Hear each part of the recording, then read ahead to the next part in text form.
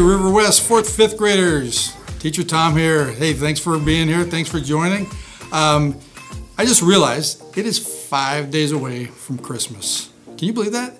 Five days away from celebrating the birth of Jesus, one of the three big events we celebrate as Christians.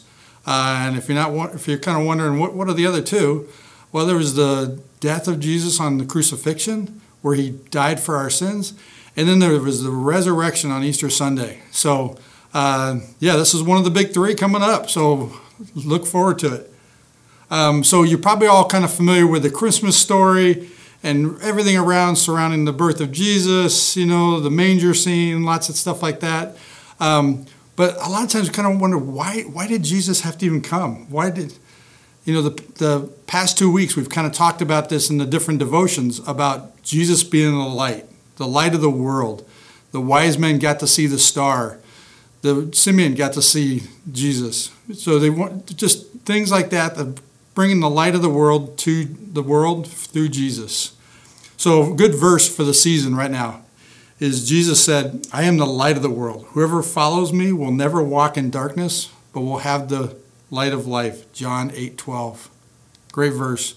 So if you're catching the theme, we're talking about light. And so Today, even more so. So, why would the Bible use light to basically remind us and talk to us about God?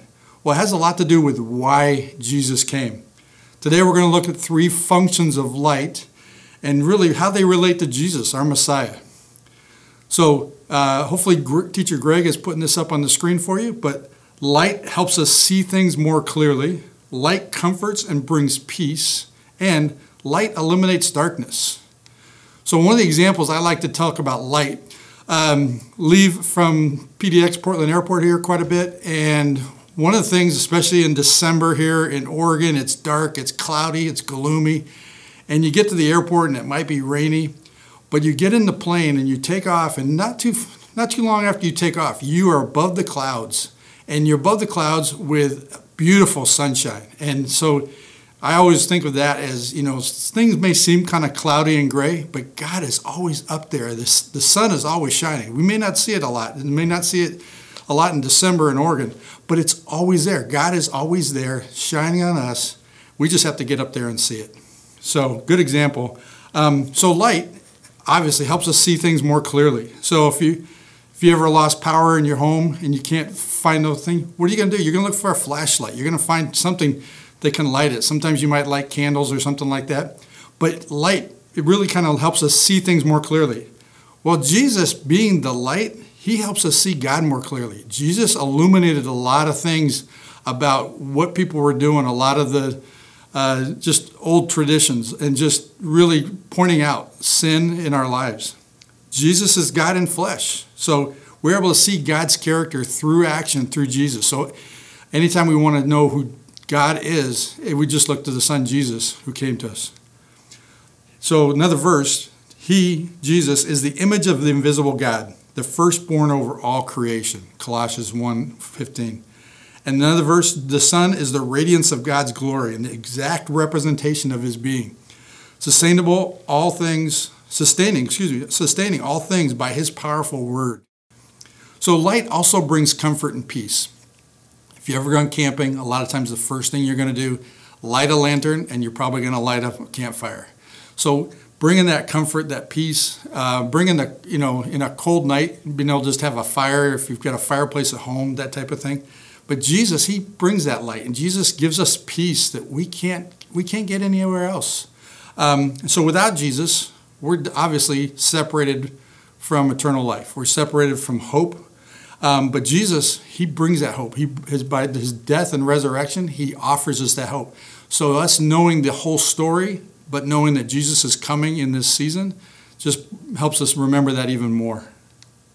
Another verse, therefore, since we have been justified through faith, we have peace with God through our Lord Jesus Christ. Romans 5 1. So the only way that we are justified, the only way that we have peace with God is through Jesus. And Jesus is coming in our tradition in five days. So, um, another thing that light does is it eliminates darkness. It's the opposite of, of, of dark. Um, right now, we've got all these lights set up in here to kind of make sure my face is bright. You can see me on the camera. Um, so light eliminates that darkness. So seeing a sunrise, it's magnificent to see a great sunrise and, and just see that light come up and start the day.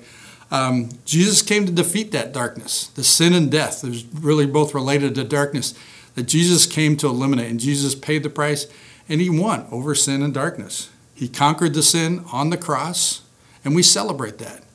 And in him, we have victory over darkness and sin. A couple more verses for you. O death, where's your victory? O death, where's your sting? 1 Corinthians 5, 15 55. Another verse. It has now been revealed through the appearing of our Savior Jesus Christ, who has destroyed death and has brought life and immortality to light through the gospel. 2 Timothy 1.10. Again, staying with that light theme, it speaks to it all, all through the Bible. So, conclusion Jesus came to be the light of the world. We started off with why did Jesus come? We talked about light. Jesus came as the light of the world.